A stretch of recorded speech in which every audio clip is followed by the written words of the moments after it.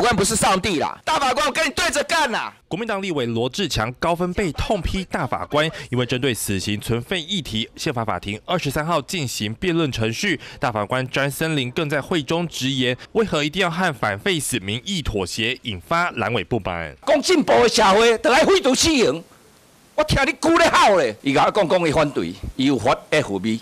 公益要看我卡做伙，我听了真感动啊！但不止蓝委反废死，就连民进党立委王世坚也声称废死是集体虚伪，这是极少数人集体的虚伪啦。废除死刑哦，等于有权者去康。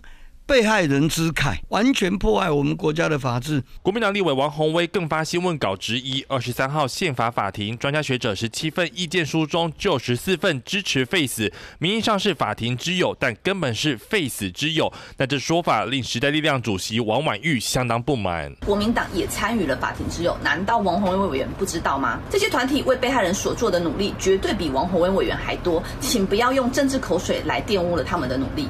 王宏威反击自己讲的。是事实，懒得理王婉玉，此行存废，朝野隔空校正。赵少康则抛出用公投来决定这个案议题，其实可以做一个公投的。嗯，这个公投蛮适合。亚洲的国家几乎没有什么废死的国家嘛。那欧洲是废死，但是我的了解，欧洲很多警察现场就把那个嫌犯当场就击毙了啦。坚决的主张死刑规定是合宪的啊。至于是不是废死，应该由代表民意的立法机关。